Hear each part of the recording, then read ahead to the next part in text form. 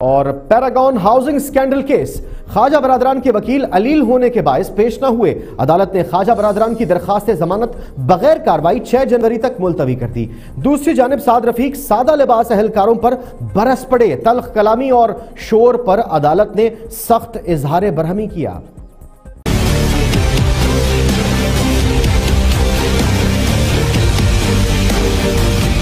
احتساب عدالت لاہور میں پیراگون ہاؤسنگ اسکینڈل کیس میں گرفتار خواجہ برادران کے کیس کی سماعت ہوئی۔ نیب کی ٹیم نے خواجہ برادران کو عدالت میں پیش کیا۔ اس موقع پر کارکنان کی بڑی تعداد موجود تھی۔ پولیس کی جانب سے سیکیورٹی کے سخت انتظامات کیے گئے۔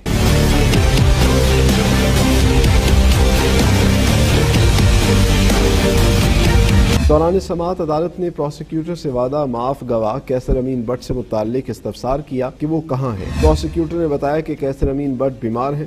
عدالت پہ پیش نہیں ہو سکتے۔ ادھر خواجہ برادران کے وکیل اشتر اوصاف کے معاون نے بھی عدالت کو بتایا کہ خواجہ برادران کے وکلا بھی کمرہ عدالت میں موجود نہیں عدالت نے خواجہ برادران کے جوڈیشل ریمانڈ میں چھ جنوری تک توسیع دے دی۔